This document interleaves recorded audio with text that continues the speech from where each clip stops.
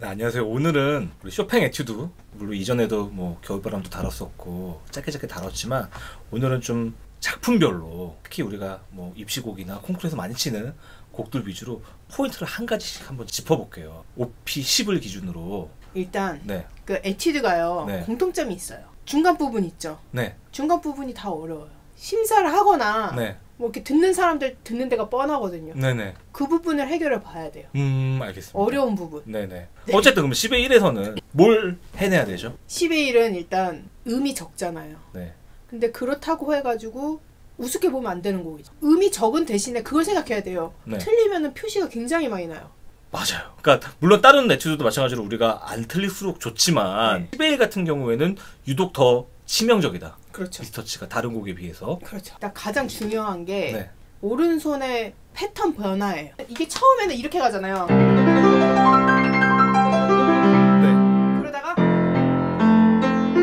좀 바뀌죠 포지션이. 네, 예. 2, 4로 시작했던 게 네. 네. 2, 3으로 바뀌어요. 네네. 그러면서 이게 도랑 라는 넓어지고 음. 라랑 도는 좁아져요. 네네. 그러면 내가 1번, 2번은 벌려.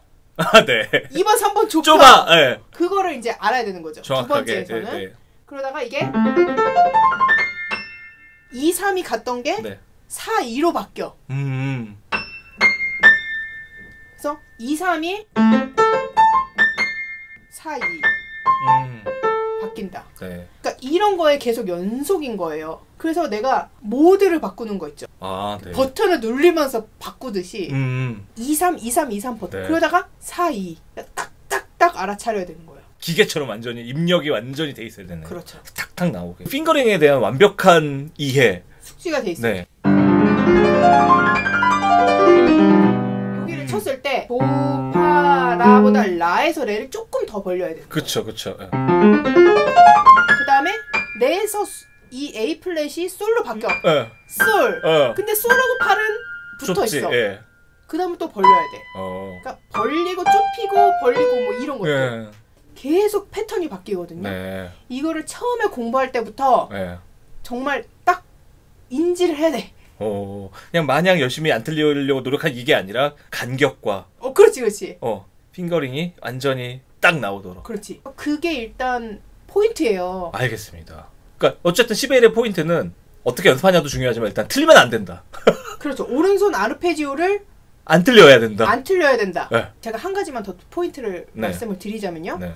리듬과 선율이 따로 놀아야 돼요. 계속 처음부터까지 16분음표의 연속이잖아요. 그렇죠. 네. 근데 손가락 번호로 인해서 음. 네 번째 음이 많이 빠져요.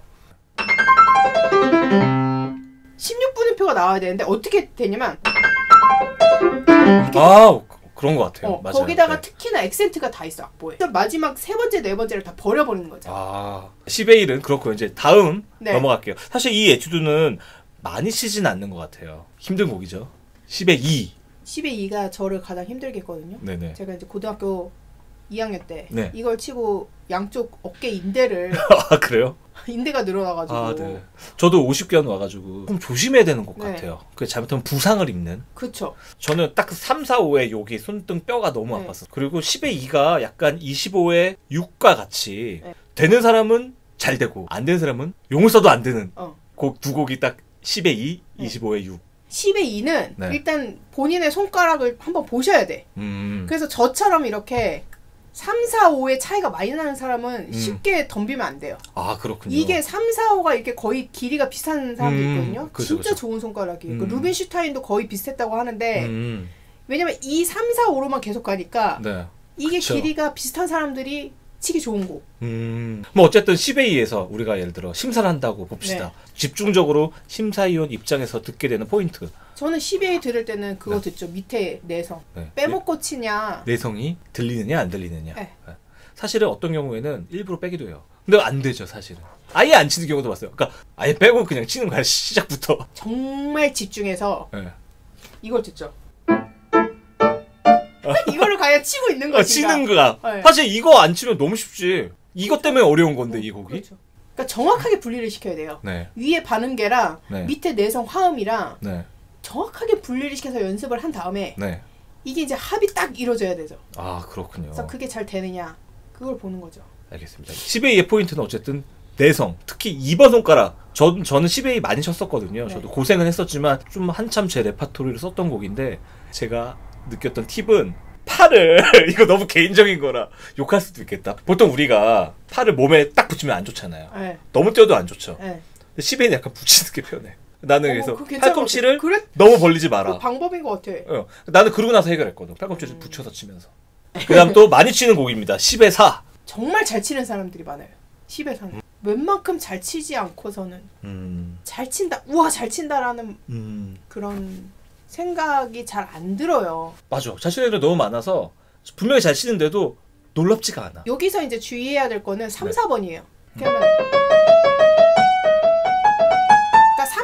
3, 4번이 나올 때가 음. 많이 조금 무너지죠. 맨 처음에 그거 아. 준비할 때는 어쨌든 고르게 다가 다가 다가 다가 가야 되는데 약간 네. 이렇게 치는 경우가 있죠. 약간 이렇게 대충 그 흘리면서 네 네. 이게 오른손 왼손 주고받잖아요. 네. 16분음표. 음. 그랬을 때 왼손이 네. 오른손보다 훨씬 더 잘 쳐야 돼.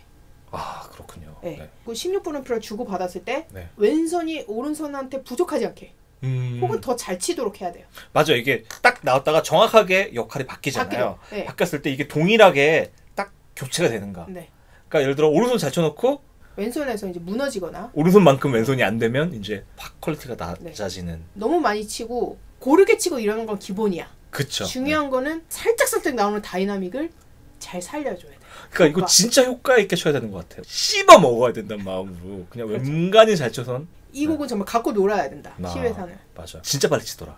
근데 다 또 안 들고 치니까. 네. 그러니까 빨리 쳐도 소리가 빠지지 않아야 되고 음. 악보에 나와 있는 디테일들 있죠. 네. 크레센도 착 크레센도 뭐 이런 것들 그런 효과들을 굉장히 디테일하게 잘 살려야 돼요. 갖고 아. 놀아야죠. powerful하면서도 좀 자극적이잖아 곡이. 그렇죠.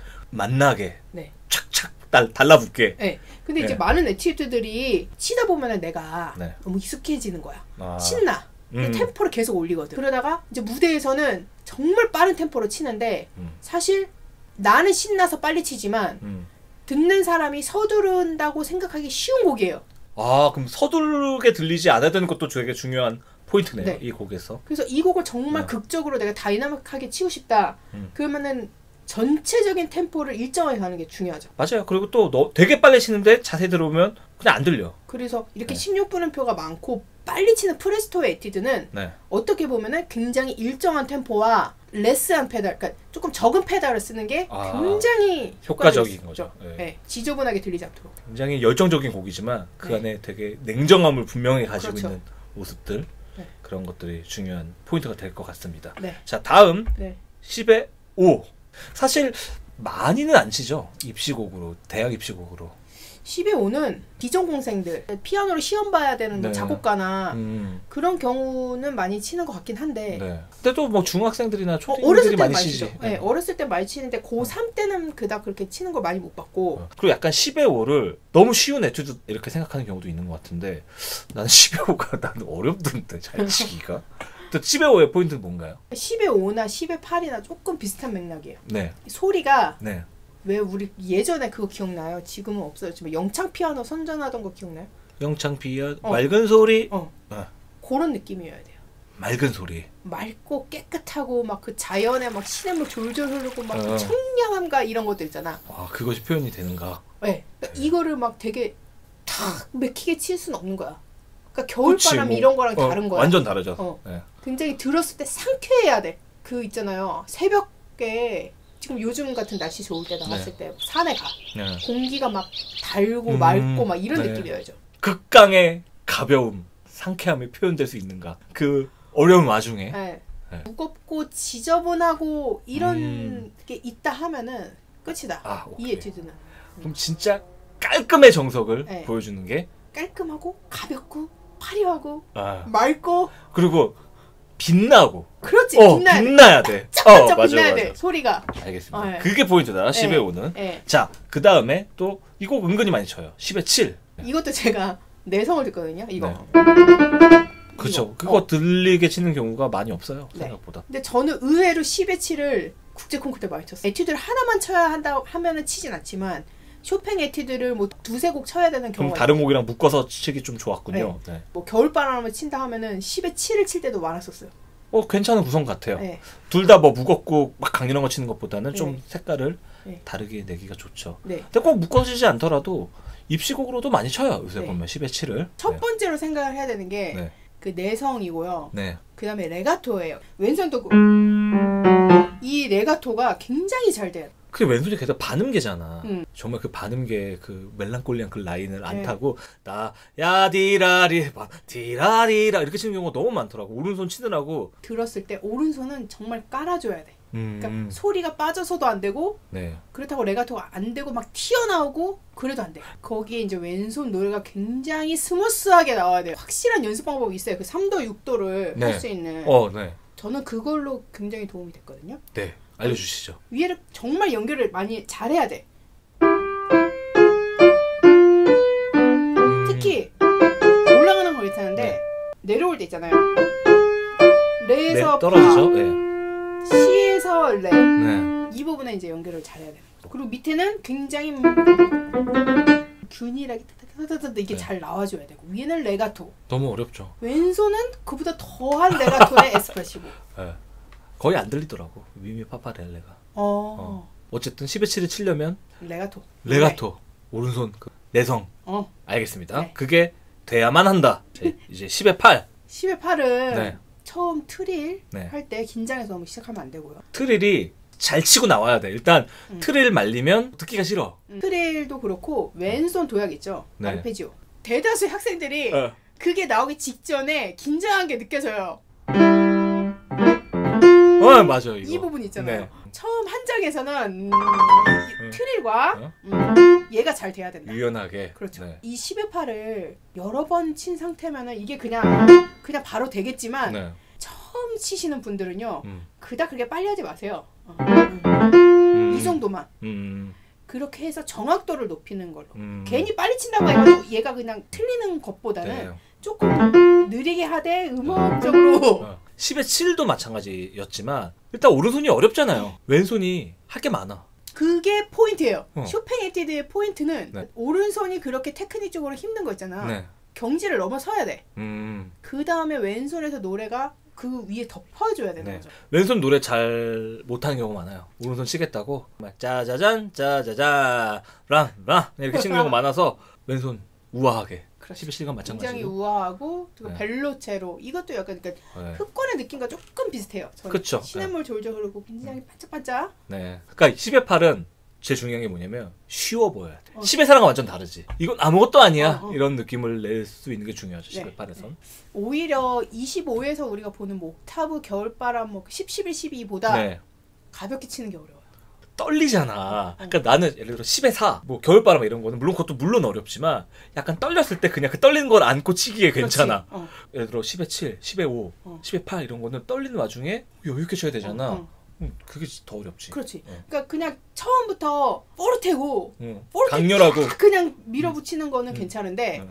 이게 10의 8을 굉장히 많이 치는데요. 되게 어려운 곡이에요. 맞아요. 그 톤칼라가 음. 주는 거를 제대로 표현을 못하면 음, 가벼운 것도 아니야 무거운 음. 것도 아니고 음. 10의 8의 고유의 특색을 못 나타내면 손 운동 하는 거야. 어, 그러니까 그 다음에 또 요새 많이 치더라고요. 10에 네. 10. 이것도 그 레가토와 스타카토의 그 articulation의 차이를 일단 알아야 되고 네.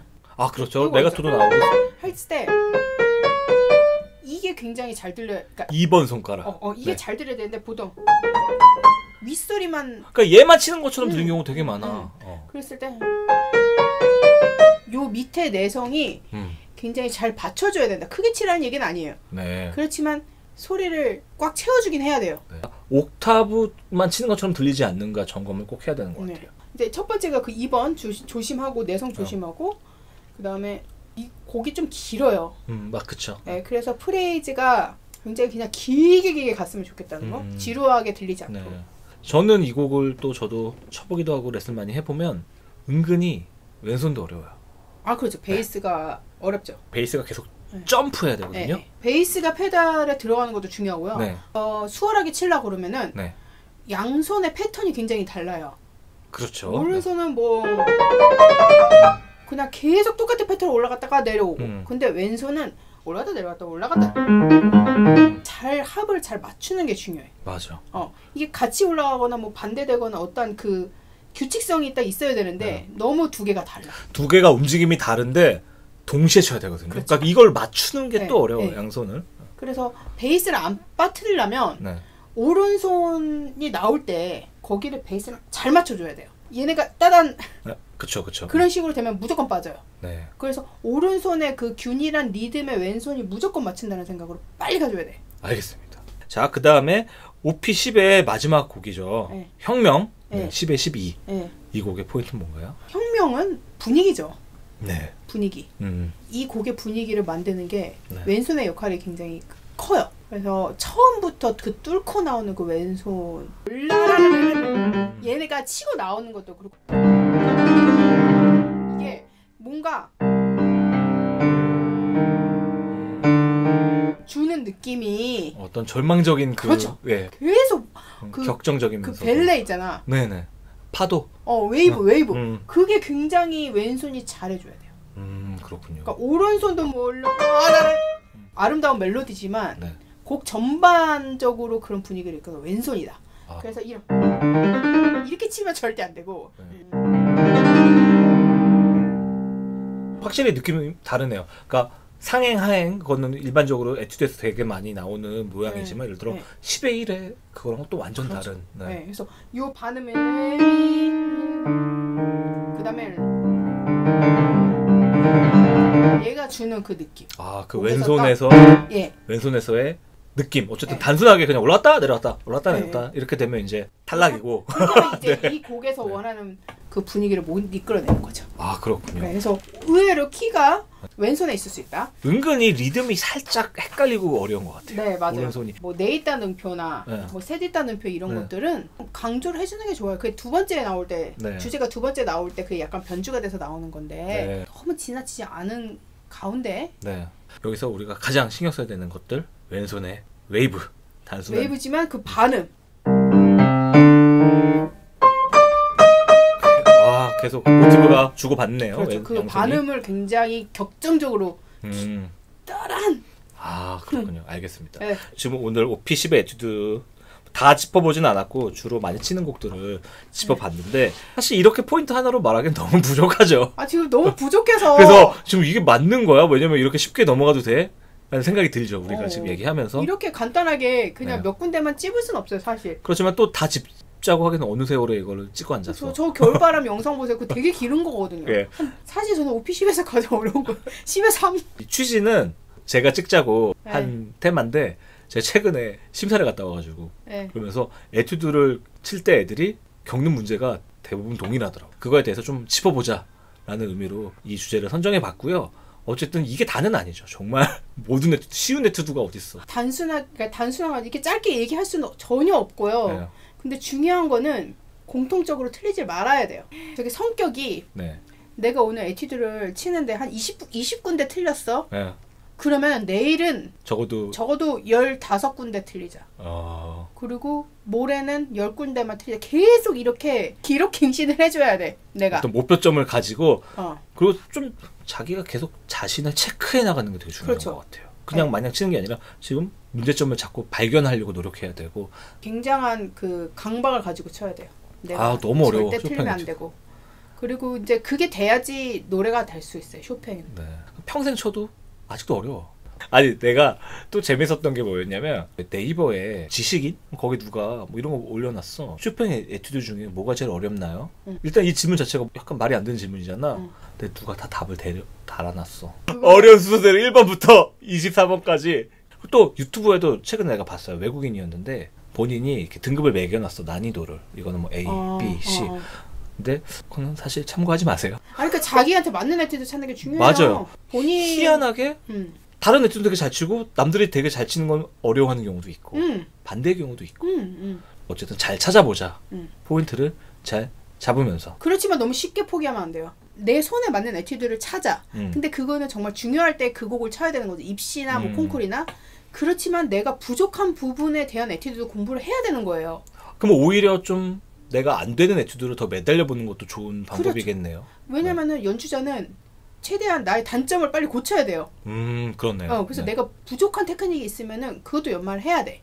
그렇죠. 네. 너무 중요한 거죠. 네. 알겠습니다. 다들 네. 에튜드 힘들지만 화이팅!